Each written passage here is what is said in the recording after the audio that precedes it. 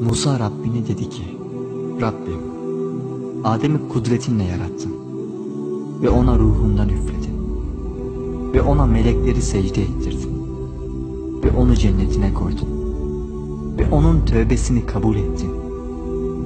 Bütün bunlara karşılık, peki o sana nasıl teşekkür etti? Allah dedi ki, Ya Musa, Adem'in sadece şunu söylemesi yetti.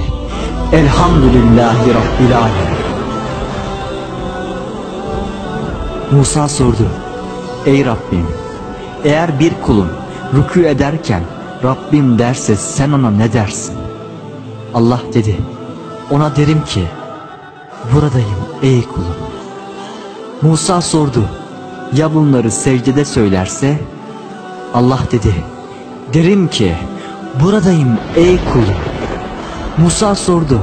Peki ya bunu günahkar olduğu halde söylerse?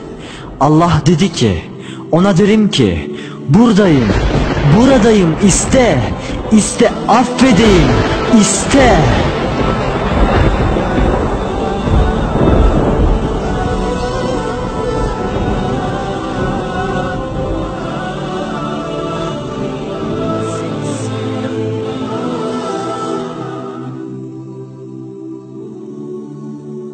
Musa Allah'a sorar. Peygamberimiz Aleyhisselatü Vesselam hakkında. Tevrat'ı alırken Musa Rabbine sordu. Ey Rabbim, görüyorum ki Tevrat'ta şöyle yazılmış. İleride bir ümmet gelecek. Eğer onların boğazlarında bir lokma kalırsa sen onların günahlarını bağışlarsın. Çünkü yemeklerine Bismillah diyerek başlarlar ve Elhamdülillah diyerek bitirirler.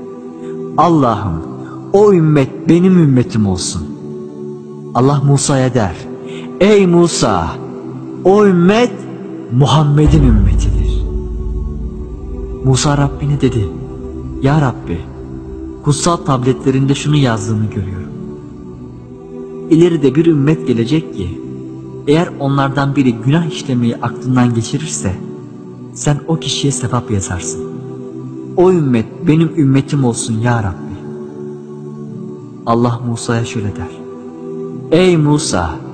O ümmet Muhammed'in ümmetidir. Musa Rabbine dedi. Tabletlerinde yazıldığına göre ileride bir ümmet gelecek. Eğer onlardan biri iyi amel yapmayı niyet eder ama yapmazsa onun için bir sevap yazılır. Eğer yaparsa ona ondan 700 kata kadar sevap yazılır. Allah'ım o ümmet benim ümmetim olsun. Allah Musa'ya dedi. Ey Musa o ümmet Muhammed'in ümmetidir. Bunun üzerine Musa dedi. Ey Rabbim beni Muhammed'in ümmeti yap.